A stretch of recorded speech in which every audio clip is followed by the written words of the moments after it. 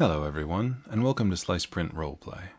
So tonight we're going to talk about temp towers. What are they? Where do they come from? Do they mean us harm?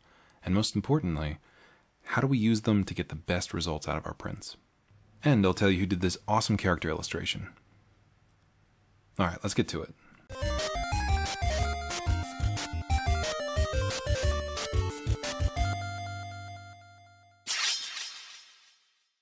So if you go to Thingiverse and put in Temp Tower, you'll find a ton of different options.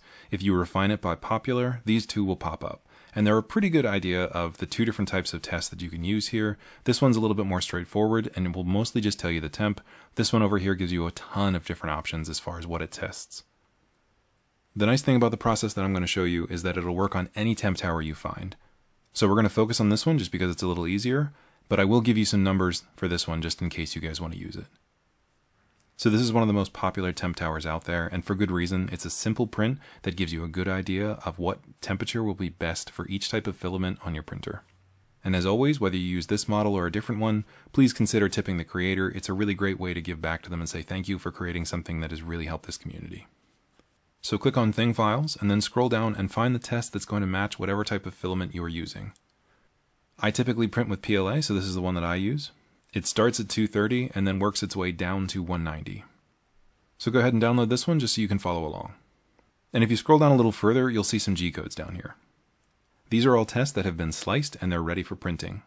So you could absolutely download these, put it onto your card, and then put it into your printer. However, I want to give you guys a word of caution. I've never had an issue with this G-code. It's actually printed really well for me multiple times on different printers, but some people have told me that they've had issues where something weird will happen, like the nozzle will slam into the bed. So if you guys use these tests that are already sliced and ready to go, just be mindful that that is a risk. Last thing you want to do before leaving this page is you want to go to Thing Details and you want to see if there's any specific information from the creator about how to print this model. All right, so go ahead and bring the model into Cura. So programming these temp towers is actually pretty easy. The most important thing you have to figure out is how many layers there are between each part of the test. And that's actually a pretty easy process. This model is particularly easy. Some models might be a little bit more finicky. You'll have to play around with them a little bit, but basically all you have to do is figure out the size of the base and then the total height, and you can use those two numbers to find your value. So if you start scrolling down on the layer view, what you're looking for is the last layer of the base and the first layer of the test which on this model is a pretty clear and easy to see difference that the base stops at 4 and the model starts at 5. So that tells us that the size of our base is going to be 4 layers and our total height is 310. So from here, we're going to get into some math. It is simple math, but if you're like me and you don't like math, whether it's simple or not, you can just plug in the numbers and I'm going to tell you and you don't have to worry about this. However, I want to make sure that I give you guys all the information you need to be able to apply this process to whatever temp tower you want to use. So if we subtract the height of our base, which is 4, away from the total height of our model, which is 310, we'll end up with 306. Then from there, we're going to divide that by the total number of blocks we have in this test. So here we have 9, not unlike the 9 layers of hell, which of course comes out to be 36. No, I'm just kidding, it's 34. And if you want to check your numbers to confirm that you're correct, all you have to do is add the size that you figured out the base was to the size that you figured out one of these blocks are. So I know that my base was 4 and that the block was 34, so 38 should bring us to the top of the first block. And there you go. Now if I add another 34,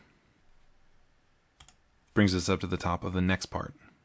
So now that we have all of our numbers, we can program our test.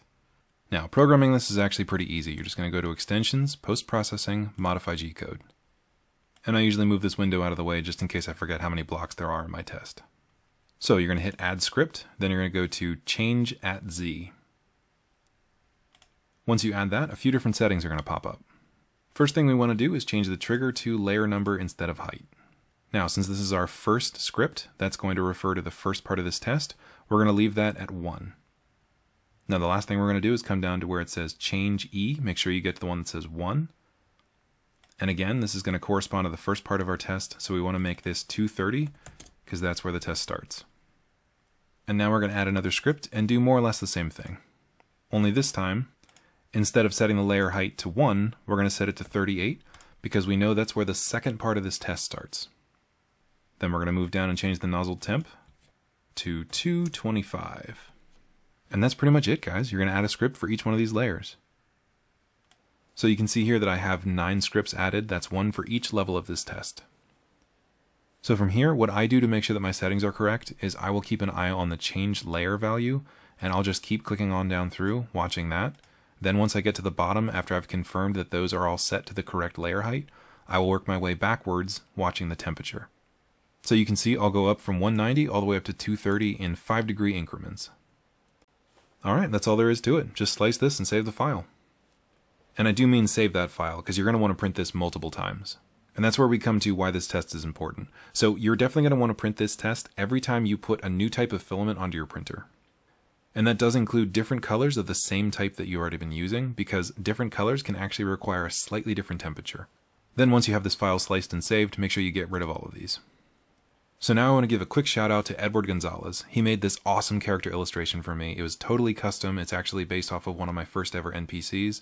I'll tell you guys about him sometime, but suffice it to say, he was really, really popular in my group, and I was excited about making this come to life, and he did an amazing job with it. So definitely reach out to him, and I recommend you guys check out his Patreon as well. You can of course find his Patreon linked below, or by searching for Omega Models.